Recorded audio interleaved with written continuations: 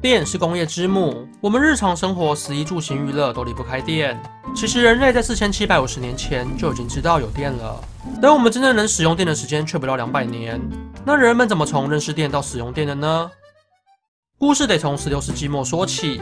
英格兰东部的小城克切斯特郊区，一位戴着高帽、身穿拉夫领贵族服饰的大叔，正疑惑着看着手上的指南针，口中喃喃自语念着：“为什么呢？为什么呢？”这位大叔正是英格兰皇家御医吉尔伯特。当时人们早就知道有磁力这种东西，也应用于罗盘指南针身上。但吉尔伯特发现越往北走，磁针就会向下倾斜。他对此现象百思不得其解。现在我们对于未知的事物会 Google，而生在十七世纪的吉尔伯特，找当时最新出版的自然百科全书《自然魔法》，在书中给的答案是：摩擦后的琥珀会跟天然磁铁一样产生磁力。这理论源自于古希腊科学家泰勒斯。吉尔伯特恍然大悟，一定是他在走路时，鞋子还是裤子经过长时间的摩擦，所以产生的磁力，才导致磁针被他鞋子裤子吸引，才会向下倾斜。但身为专业的医生，他觉得得用科学方法验证才行。他先使用书上说的琥珀，经过一番疯狂摩擦后，拿到指针旁，结果指针根本不为所动。看到此现象的吉尔伯特。写信给《自然魔法》的作者珀尔塔说：“摩擦后的琥珀虽然和磁铁都有吸引力，但是两者是不同的东西。琥珀可以吸引小紫穴，但没办法吸引磁针；而磁石也不能吸引小紫穴。而珀尔塔可是当时名震天下的大学者，不止在科学自然领域，连炼金术、占星术与神秘学都有所涉猎，被人们称为暗黑教授。所以暗黑教授才不鸟他嘞！被已读不回的吉尔伯特决定推翻珀尔塔的旧理论。”他觉得摩擦后的琥珀与磁铁虽然都有吸引力，但应该是不同的东西。玉一这工作可能蛮闲的，他在闲暇之余做大量的磁学实验，花了二十年的时间写出了《磁石论》一书。书中说，地球本身就是一个巨大磁铁，还用了一个大磁石制造出了一个小地球。这理论也合理的解释了他当年的疑惑：磁针之所以向下倾斜，是受地球磁力影响的关系。这也是物理学史上第一部系统阐述磁学的科学研究。前面有说过，古希腊人拿摩擦过的琥珀可以吸引一些小东西。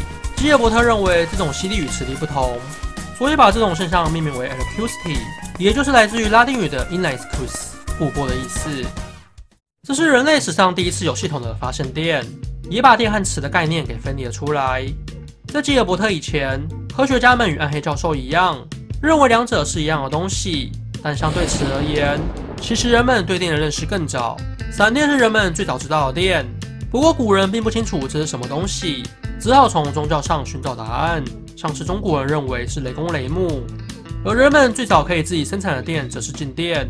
西元前地中海文明的人们发现，用琥珀杆摩擦猫毛可以吸引羽毛一类的物质，但他们并不知道如何解释这个现象。接着过了千年之久，很长一段时间，人们对于电的研究是一片空白。直到一千年后，在文艺复兴时期的尾声，欧洲的科学研究正在蓬勃发展。大家沿着培根科学归纳法逻辑道路，终于有一位医生开始认真研究电。也因为这位医生的伟大贡献，吉尔伯特被后人尊称为电学之父，影响力远超暗黑教授，甚至被伽利略赞叹为伟大到令人嫉妒。后来，吉尔伯特染上鼠疫过世，但他死后，十七到十八世纪，人类在电学上有长足的发展，许多科学家纷纷投入电学研究，像是做著名马德堡半球实验的那位仁兄奥托·冯·格里特，他就在静电上有所研究，发明了一部静电发电机。一七四六年，荷兰莱顿大学的教授穆森布罗克发明了一种可以储存静电的瓶子，取名为莱顿瓶，这是人类第一次可以储存电能。莱顿瓶放电所产生的电火花和噼里啪啦声，很快的风靡了全世界。镜头转到海的另一端，新大陆，一位秃头的胖大叔也对电力研究非常有兴趣。他做了一个恐怖的实验，在雷雨中放飞一支防有钥匙的风筝，只为了把闪电捕捉到莱顿瓶里。这实验非常危险，他并没有说此实验是他亲自完成的，甚至也有人认为他根本没有做此实验。不过几个月后，远在俄国圣彼得堡科学院的院士李奇曼受到胖大叔的启发，也重复了此实验，然后就被电死了。这位顽皮的秃头大叔，便是一百美金上的那个人——美国独立战争的英雄富兰克林。他对电学的贡献非常大，提出了证据、富集的概念沿用至今。还发表电荷守恒定律。一七九一年，意大利医生加法尼在解剖青蛙时发现，只要拿着不同材质的金属器械触碰青蛙大腿时，青蛙大腿就会突然抽搐一下。对此现象，他研究十年后发表一篇论文，论肌肉运动中之电力作用，认为这是动物电，就跟海洋中的电鳗一样。这种电普遍存于动物体内，不管是死是活，只要达到条件，它就会释放出来。至于为什么动物身上有电，身为虔诚天主教徒的加法尼则归功于上帝。但也有人不同意他的说法，就是同为意大利人的物理学家福特。一开始他也赞同加法尼的论点，但秉持着科学精神，他一一验证论文上的实验，发现并没有错误。只是福特是理性主义者，难以接受上帝把电传在动物身上的说法，于是他做了两个实验。第一把挖腿的神经取代整条腿，发现神经居然也会抽动，这足以证明肌肉并非储电装置。第二个实验用他自己的舌头取代挖腿，结果明显感觉到舌头麻麻的，他因此认定这是相同的物理效应，两种不同的金属互相接触就会产生电流，它纯粹是一种物理现象，根本不是什么动物电。所以不管是挖腿还是舌头，就只是一个验证电流存在的器物而已。基于这个接触理论，福特把两种金属和浸有盐水的不活硬纸板排列在电路中，确实产生了电流。所以在一八零零年发明了电堆。他通过不同的实验，发现同弯形的金属条进入强酸溶液中，会产生稳定又强劲的电流。福特电堆也就是现在电池的原型。这电池不含任何有机物，但仍然可以放电。只为了打脸加法里的动物说，这是电学发展史上一大突破。在此之前，摩擦生电所产生的电都是静电，虽然能储存于莱顿瓶，但放电的过程犹如脱缰野马，很快就后继无力，你就不可能源源不绝，当然就不可能应用了。而福特这种电池是人类可以控制的持续电流，至此电学进入了猛爆性发展的阶段。这只为了打脸做出来的电池，竟然意外的制造出前所未有的连续电，也就是现在所谓的电流，连福特自己都黑人问号。一八三一年。英国物理学家法拉第搞出了世界上最早发电机。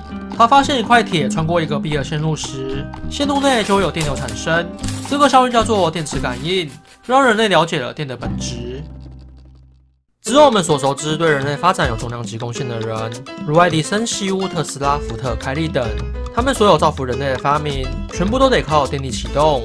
电力可说从那个时代开始，主宰了整个工业界。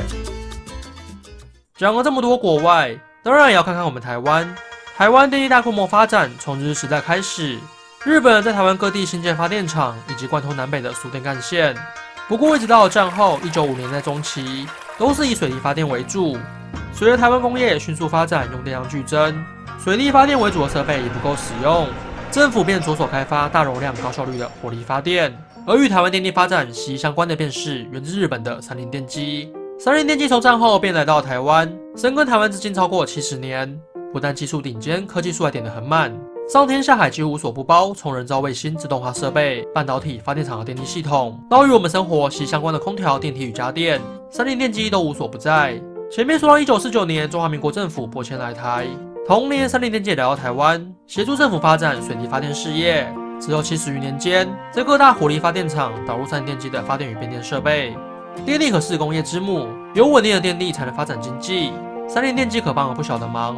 之后台湾经济起飞，政府也搞起了再生能源转型，技术底的三菱电机当然没有缺席，帮忙导入稳定的供电系统与智慧电表相关技术。